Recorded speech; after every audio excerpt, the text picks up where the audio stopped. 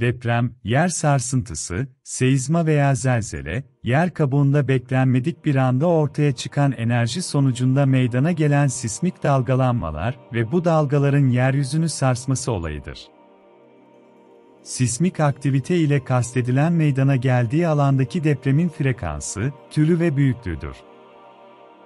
Depremler sismograf ile ölçülür. Bu olayları inceleyen bilim dalına da sismoloji denir. Depremin büyüklüğü moment magnitüd ölçeği ya da eskiden kullanımda olan Richter ölçeği ile belirlenir.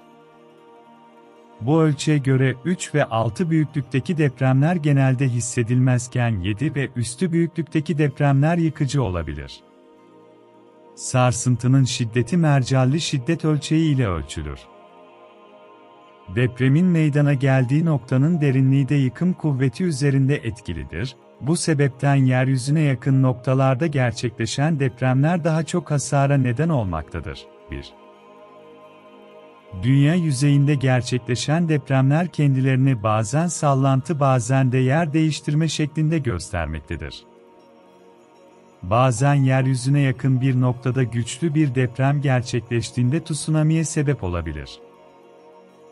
Bu sarsıntılar ayrıca toprak kayması ve volkanik aktiviteleri de tetikleyebilir. Genel olarak deprem sözcüğü herhangi bir sismik olayın ürettiği, doğal bir fenomen olarak gerçekleşmiş veya insanların sebebiyet verdiği sismik dalgaları adlandırmak için kullanılır. Depremler genellikle kırıkların, fay hatları çatlamasıyla oluşur.